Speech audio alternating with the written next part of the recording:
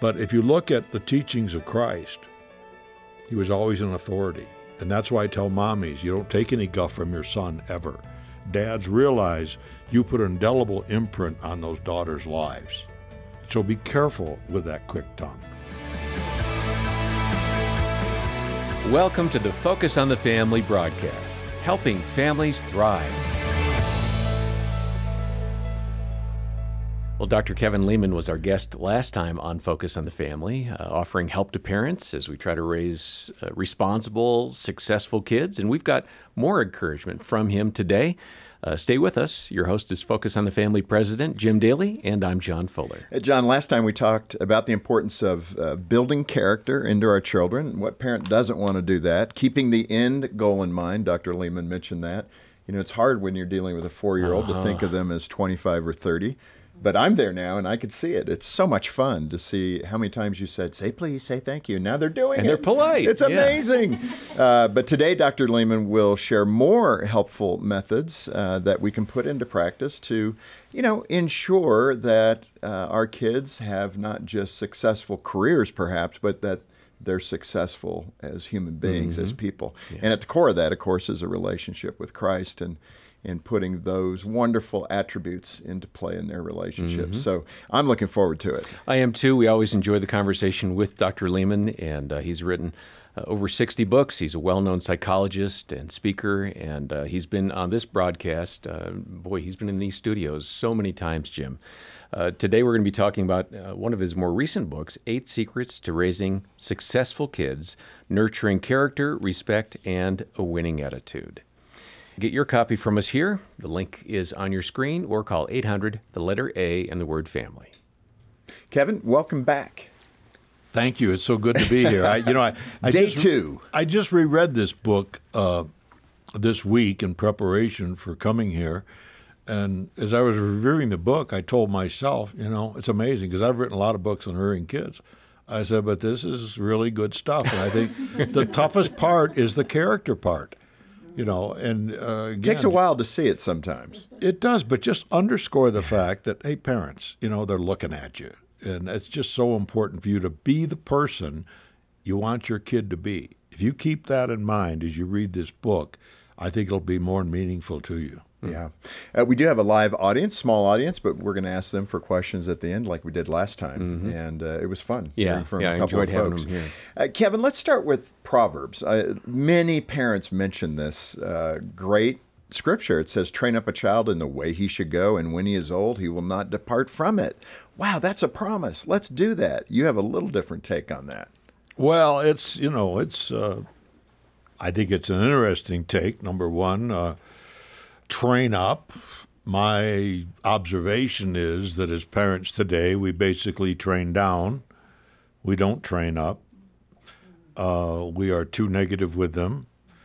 Um, we use warnings, and again, warnings are not a part of any of the Leman books. Uh, warnings are rather disrespectful acts that say, you know what, and we tend to repeat warnings. Mm-hmm. It's not like you give them one warning it's over and over and over again, which sort of says essentially, I think you're so stupid, I have to tell you two or three times. And by the way, when you call a kid to ask him to do anything, how many times do you call him? See, I've talked to your children, and I know the answer to that. and the answer is three times. And when you ask a kid about that, they'll tell you straight out, well, the first time, it's just sort of a general alert, you know. And the second time, he or she, mom or dad, raises their voice on uh, a decibel or two. And the third time, they put my middle name in there. I know they mean business. So my question is, do we want to train up kids to learn to listen, tell them once, have a consequence that follows if if they don't do simple things you've asked? I think it's a good idea. But the point is, we tend to train down. And mom is going into a store. She has a little talk with the kids. Now, listen up. Don't do this. Don't do that. Don't ask for anything because the answer is no. Uh, what have you just communicated to your kid? And just be aware of those kind of things. So train up a child, okay, in the way he should go. Now, I love this one. Over in Proverbs 3, King Solomon ends with, uh, and he will direct your paths. Now, notice that's plural. You don't have one path in life. Your kid isn't going to have one path in life. Your kids are going to, you know, think of yourself. Uh, majors in college you had, or jobs, opportunities. We have a lot of different paths, but that uniqueness, train up the child in the way he should go, does not speak of your child. That's how God would have your kid go. Hmm. Any any comment on the he will not depart from it? Yeah, um, we don't know what turns those kids are going to take in life. We think we do a lot. We mentioned yesterday in our broadcast that you know kids are brought up in the church and so many of them leave. Why? Did they not see that as real? What did they miss? Mm. I mean, I think the fact that you can drive down the interstate in your state and talk to the creator of the universe, man, that's pretty cool. Mm-hmm. You know what I'm saying? Well, there's got to be a realness for kids to feel like, you know, I can talk to the creator and he cares about me. And I think you have to have a passion for being a parent today if you want that kid to not depart from what you've taught him. I think the problem is that we do all these other things. And like we said yesterday, we focus on the things and the success and the career rather than who they really are. Mm-hmm. And I've made it a point with my five kids to always say, you know, I, I, I love you for who you are. I love to see that kindness in you. Yeah. yeah. Uh, Kevin, let's uh, get to the, the life mantras that you describe in the book. I think you start the first one, there's four. The first one is the boss. Yeah. Why don't we describe these for the listeners? Well, some of you as parents are the boss. You know the right thing to do. Um, so, order and doing things right is okay, but there's limits where that boss doesn't become approachable. Hmm. And the next one I talk about is the perfectionist, and they're a step worse than the boss. Because when they're wrong, it's someone else's fault. And I think admitting to your kids in as godly a way as you can, hey, I'm sorry, I blew that. I ran over your feelings. I had no right to say that. I was prying. That's your business. You know, let, let the heat calm down and we'll talk about it another time. I think that kind of approach makes you what? Approachable. Mm. you know, Jesus himself, as he walked this earth, he was approachable. Yeah. They tried. Remember, they tried to keep the little kids away from him. What does he say? Huh. Front seat. Come on up here, kiddos. I think we have to keep that in mm. mind as we try to model what God would have us be as a parent. Yeah. So we have the boss, the perfectionist. What's three? Jesus had bad parents, as a matter of fact. Mm. He was lost for three days. I don't even notice he was gone. I think I that was cultural back then. I digress. they had a big, big playground. Okay, loyal to the core. Oh, well, you know, these guys are great. Uh, I think they're the peanut butter and jelly of the sandwich. Um, they never saw themselves higher from anyone's perspective than what they are. They tend to be servant oriented people. They have some pretty basic, good parental skills just in the fact that they're that kind of a person. And then you got Party Central. And some of you have kids like that. Never met a stranger, you know, outgoing, might have a sense of humor, uh, sort of garner attention. And again, keep in mind that all kids are attention getters but they get it positively or negatively. That's the key. Hmm. And as a kid gets discouraged, he or she will become, you know, more acting out in a negative way.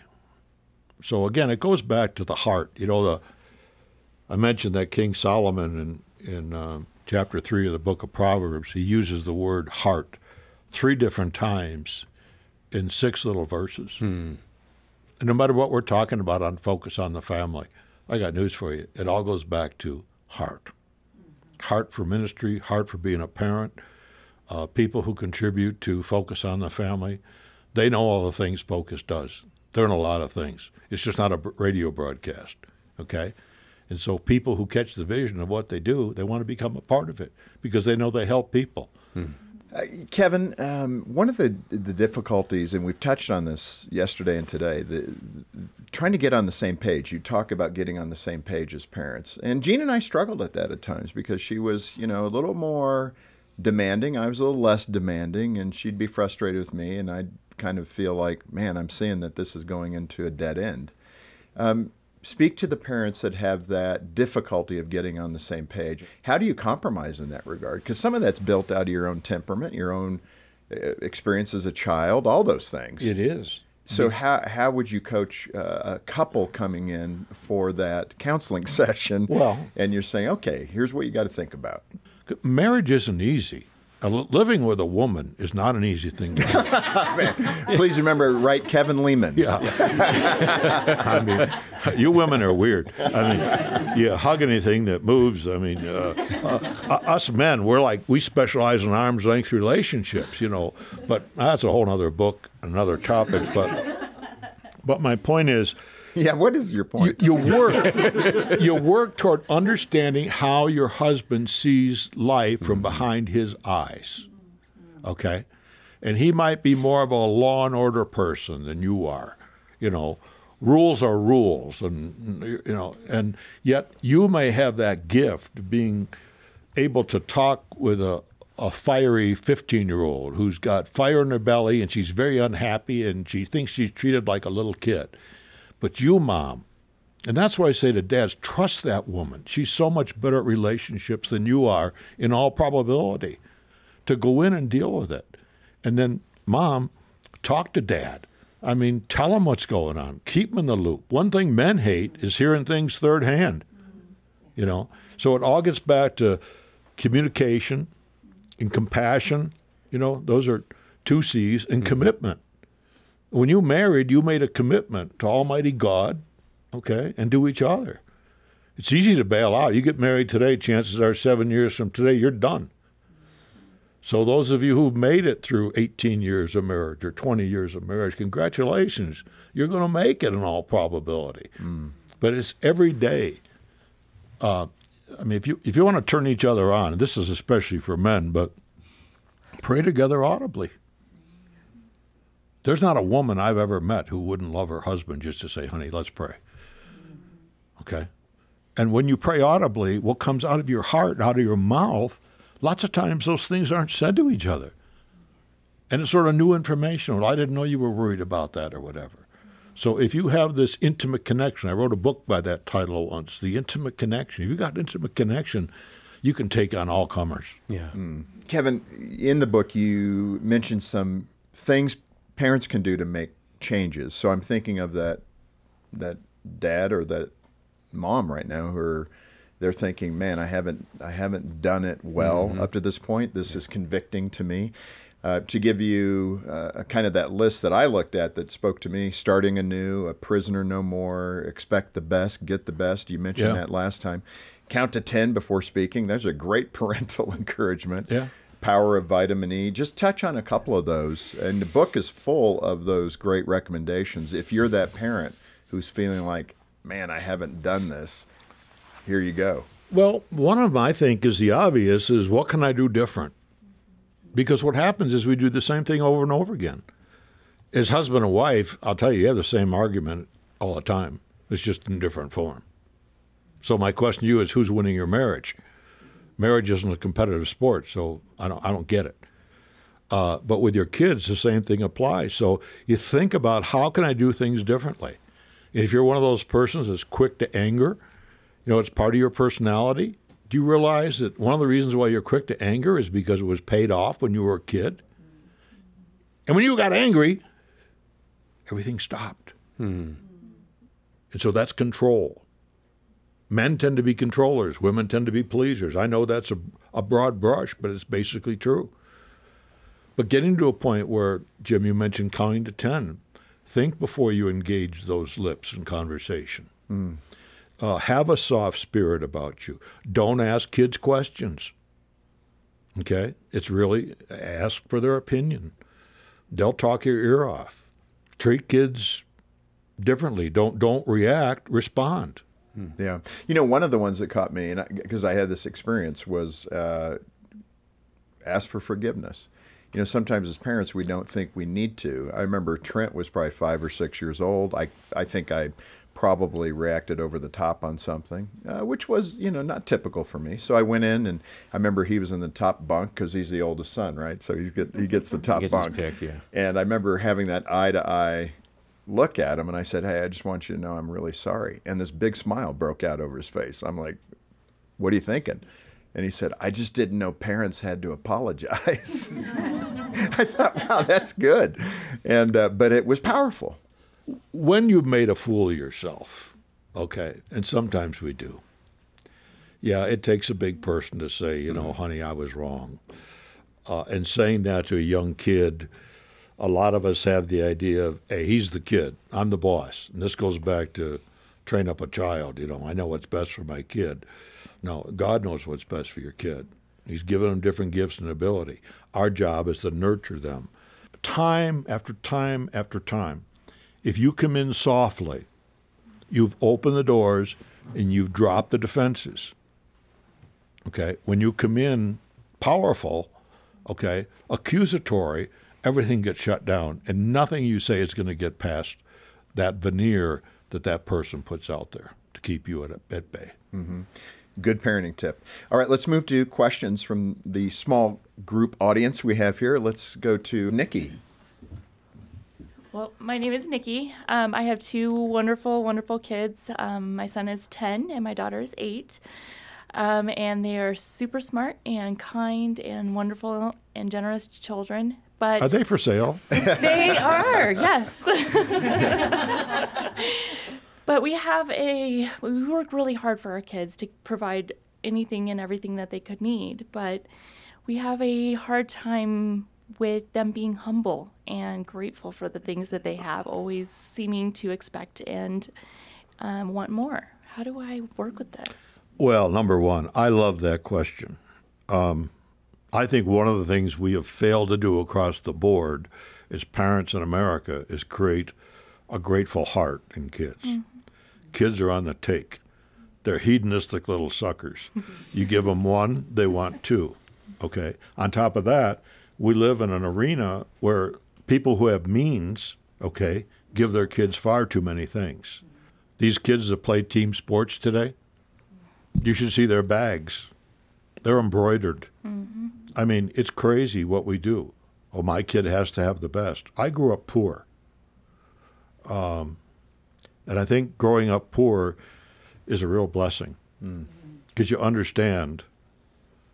I mean, I don't, I'm not, I mean, I, I live a life where I, every day I say, Lord, d- give me opportunities to bless people. Mm-hmm. This morning in an IHOP, I had a lady. She worked all night long. I was there like at five thirty in the morning, and I said, "Boy, I remember working all night. That's tough." And she said, "Well, you get used to it." Well, I think my bill was nine dollars. There were a ten dollar tip.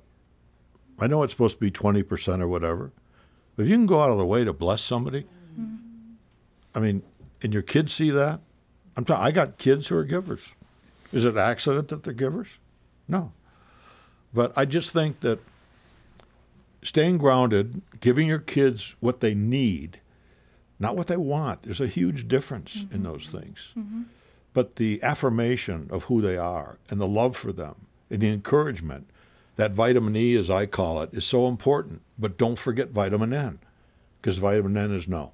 Mm. We're not going to do that. And that's what helps keep kids in the authoritative realm of life mm-hmm. and not the authoritarian, where they're just going to react and fight back, or the permissive. And keep in mind, the permissive creates rebellion, and the other extreme does as well. I think you're in good shape. Congratulations on two great kids. Yeah, I love that. Uh, Kevin, we cannot end without hearing that wonderful story that some listeners may never have heard about you dropping your daughter off at college. I love that story.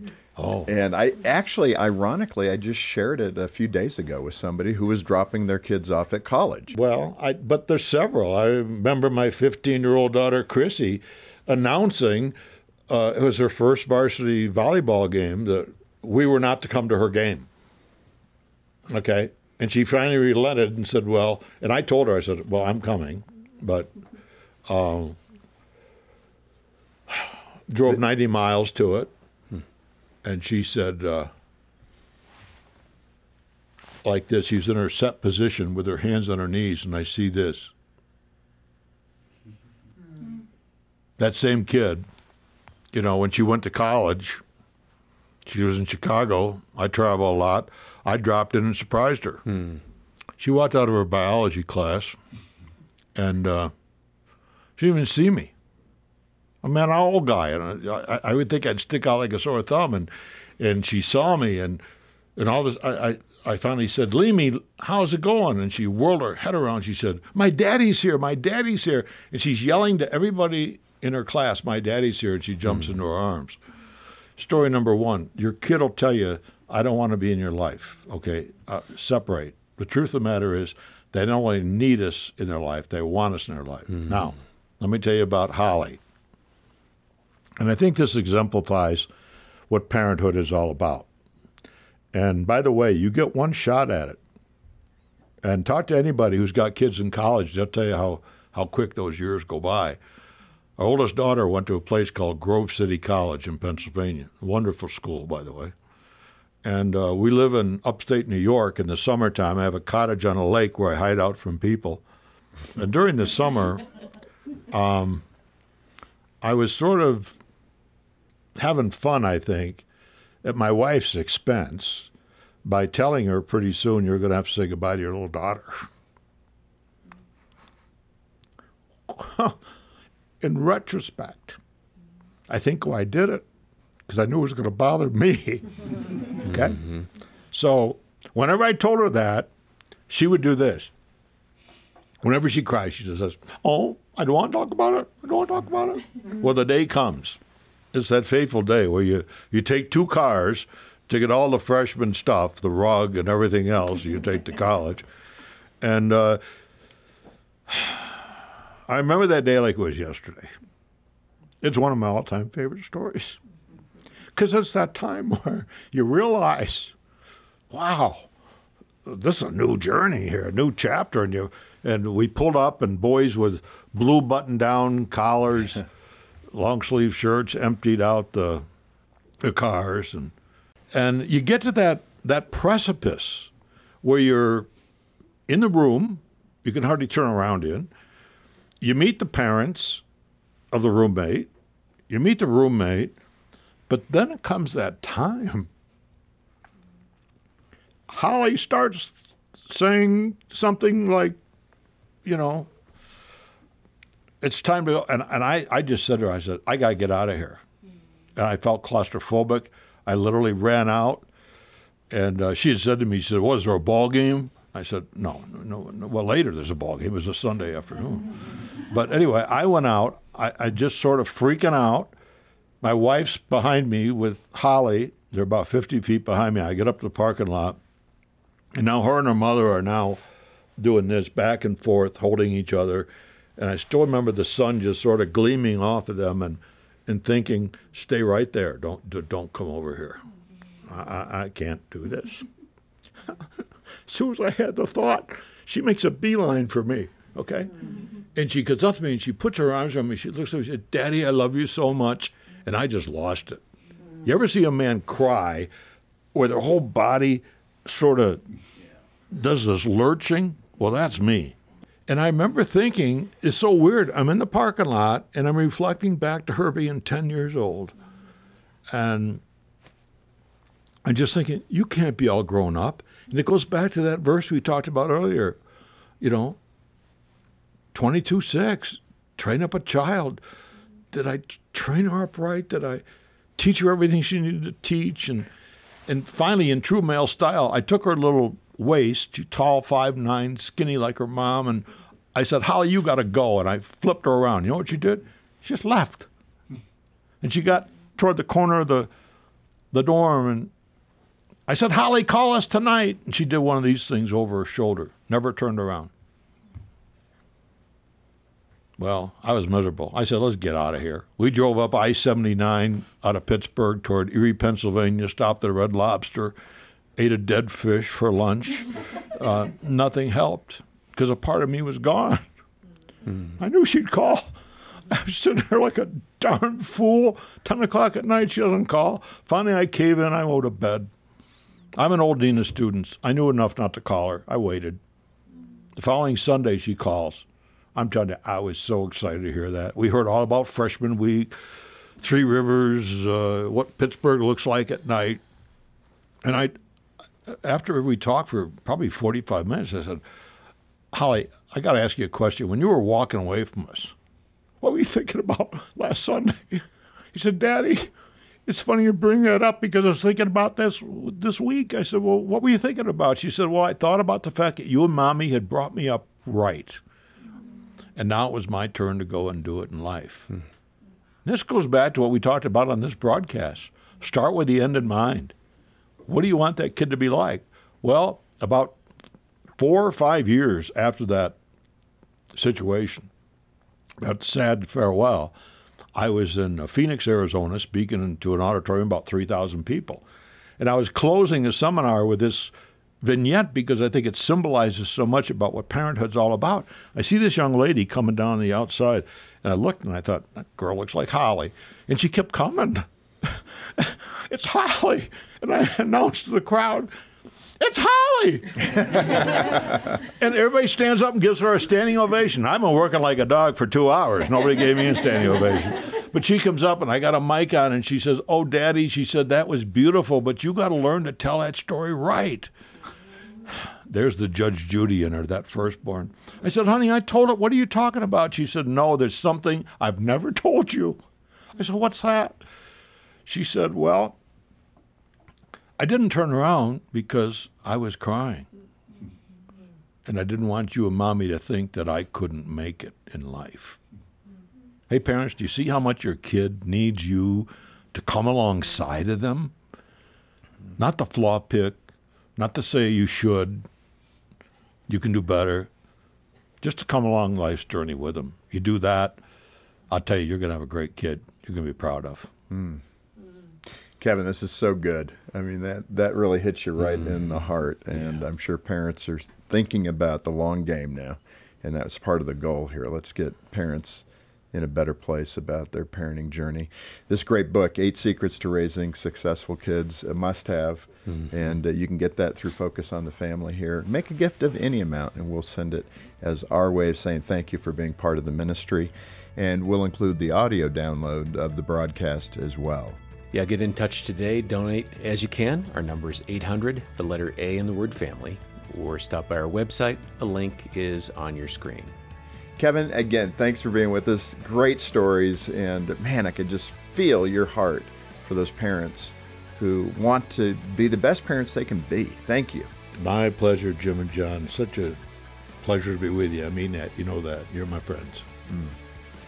On behalf of Jim Daly and the entire team here, thanks for joining us today for Focus on the Family.